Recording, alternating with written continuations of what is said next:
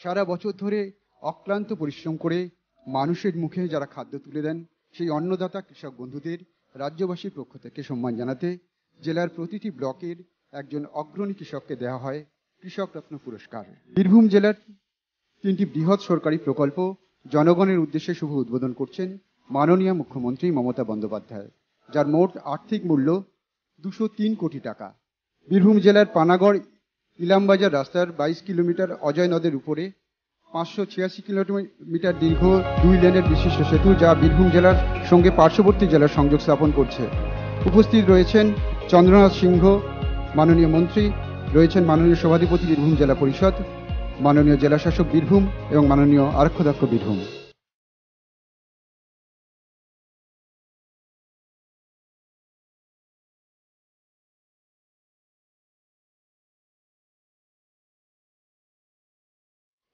বীরভূম জেলার কুয়ার নদীর উপর চারশো সত্তর মিটার দীর্ঘ দুই লেন বিশিষ্ট সেতু।